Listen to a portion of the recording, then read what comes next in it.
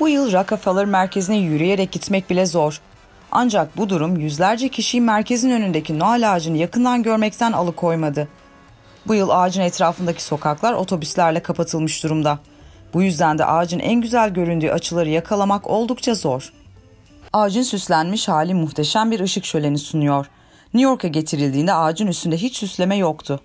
Ağacı süslenmemiş haliyle görenler sosyal medyada tam da bu yıla uygun bir ağaç şeklinde mesajlar paylaştı. Ancak ağacın şimdiki hali çok göz alıcı. Işık gösterisi tatil havasını daha da güzelleştirdi. Pandemiyle geçen 2020 yılını geride bırakırken kentin başlıca alışveriş merkezlerinden 5. caddedeki mağazalarda vitrinleri pahalı ve parıltılı ürünler yerine sade ve sıcaklık hissi veren ürünlerle süsledi. Pandemi moral bozuyor ama yine de en iyi şekilde yaşamaya çalışıyorum. Çok üzücü bir durum. Hemşireyim ve pozitif olmamız gerekiyor. Her şey daha iyi olacak. Ağacın ışıkları yandığında New York caddeleri adeta büyülü bir havaya bürünüyor. Bu harika. Her şeye rağmen Noel'i tatil sezonunu kutlamalıyız. Biraz eğlence ve huzur yakalamalıyız. Bu bizi güvende tutar.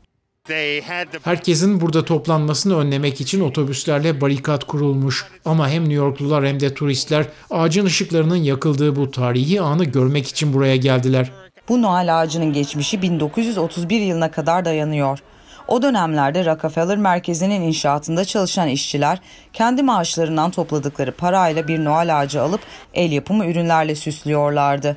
Bugün ise buradaki Noel ağacı 50 binden fazla farklı objeyle süsleniyor ve tepesine de Swarovski marka bir kristal yıldız yerleştiriliyor. Normalde kış sezonunda ağacı görmeye her gün yaklaşık 75 bin ziyaretçi geliyordu. Bu yılsa pandemi nedeniyle aynı anda en fazla 4 kişilik gruplar sadece 5 dakikalığına ağacı yakından görebiliyor. Ancak bu bile ziyaretçilerin tatil havasına girmesine yetiyor.